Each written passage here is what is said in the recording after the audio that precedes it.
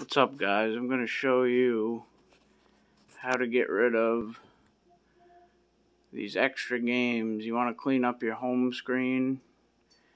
I'm going to show you how to actually do it.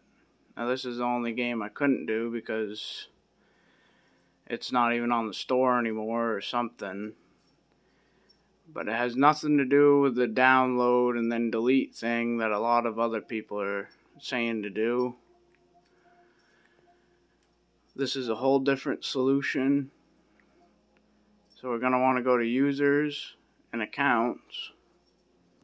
And I don't want to show you that. I'm Just going to